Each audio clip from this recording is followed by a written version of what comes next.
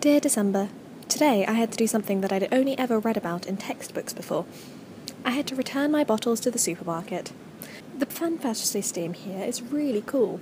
When you buy a bottle, they add an extra few cents onto the price, and then when you are finished with your bottle, you can return them and get your deposit back. I tend to leave my bottles pile up, and then, when I return them all, I can use the money to buy myself a small treat. It's a great way of promoting recycling as well as reserving our precious natural resources. Woo, go Germany!